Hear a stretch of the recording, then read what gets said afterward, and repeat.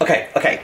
We haven't got long. So, this video happened. Allow me to candidly paraphrase the Quran. Look, if you don't believe, you're never going to believe. You are going to find some way to dissuade yourself, to make yourself. I truly can't get over it. So, so I've been watching Quran Revolution because everyone told me about Tajweed, and I was like, oh, you know what? I'll, I'll see what that's all about. And I kind of love it. This isn't sponsored by them anyway. I'm just showing the love back. But on their website, this is really interesting. It says that you should be able to improve your Tajweed within four months. Okay, slight correction. It says in four months you'll learn more Tajweed than you have in the past six years, which is technically true because I only learned about this in four months. So technically, technically I was right. Okay, and it's been about four months until Brother Wissam reacted to me. I can't believe it. Could tell I'm rushing because I'm not making any sense. What I meant to say is that it has been four months since I started watching Quran Revolution.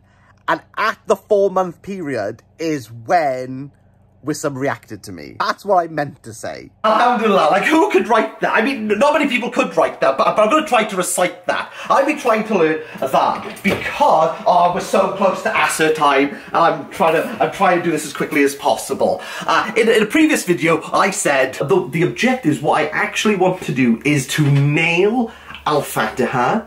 I want to give Adhan in the mosque. Don't ask me why. I'm, I'm, just curious by it. Because Brother Wissam and Bilal, by the way, Bilal reached out to me. Thank you so much. I made dua for both of you that night. Um, I, I, thought, you know what, I'll put my money where my mouth is. Uh, he's reacted to me, and you know what, I've been trying to replicate his adhan from his video, this video, I'll link it down below. I got like two minutes, but it, it, it's Asr time, Well, pointed to the Qibla, we, we got one chance. You only got one chance to do it now. We ain't doing a million takes. We're doing it. Let's see if I've learned anything. Let's go. I'm not entirely sure why I walked into that room, but I'll go it anyway. Right, we got one chance. Oh, let's not mess it up, okay? Oh, let's go.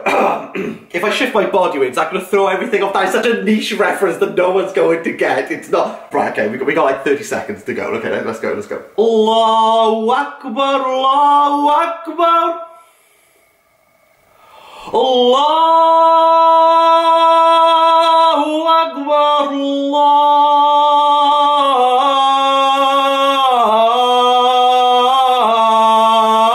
Allahu Akbar. Ashadu la ilaha illallah.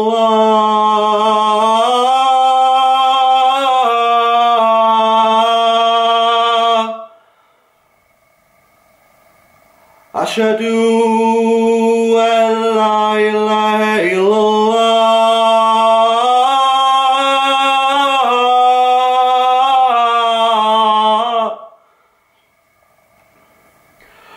وأشهد أن محمد رسول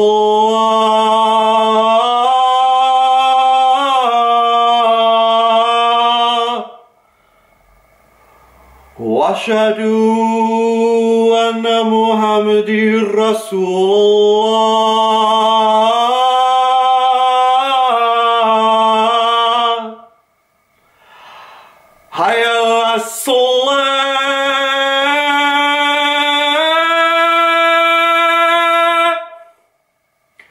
حي على الصلاة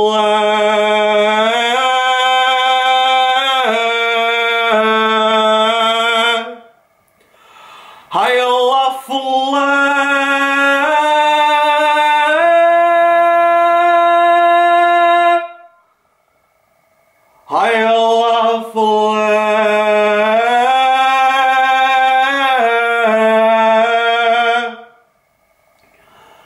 Allahu Akbar Allahu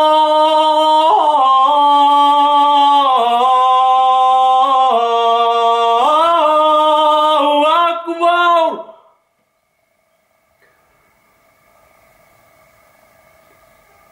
La ilaha الله